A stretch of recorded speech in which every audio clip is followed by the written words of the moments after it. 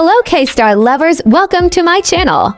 With the success of Extraordinary Attorney Woo, Kang Tae-oh who received lots of love through Lee Jun-ho has been busy for photo shoots and interviews from different magazines cover.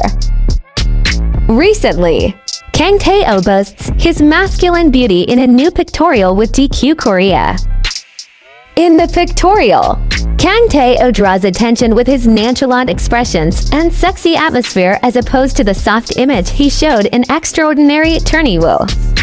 In the interview that took place before the drama ended, Kang Tae-oh shared his thoughts on various topics. When asked if he feels different about the finale day, the actor replied, I'm half worried and half anticipating at the same time because I already know the story that will be air. I get very curious about the reactions of the viewers and whether it will turn. Uh, well, despite his curiosity, Kang Tae added that he doesn't look for the reactions on social media unless it's pre-produced. Filming goes on even when the drama is airing and then I become conscious of the reactions. Whether it is a good or bad reaction, I am unable to concentrate on my acting if I start to care about it. He also shared his thoughts about malicious comments. He said I thought I wouldn't get offended before. I was thinking, why do people get offended by comments? But when I confronted the bad comments, about me, the damage was huge, even when I am praised 100 times. It hurts if I get hated even just once in one day I saw a comment saying, why does an actor like him get cast as a male lead?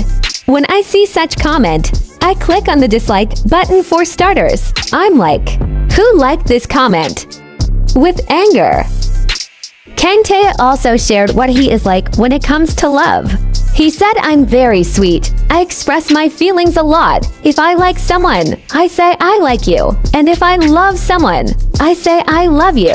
I specially say I love you a lot. But when it comes to saying things that he doesn't like, he minces his words.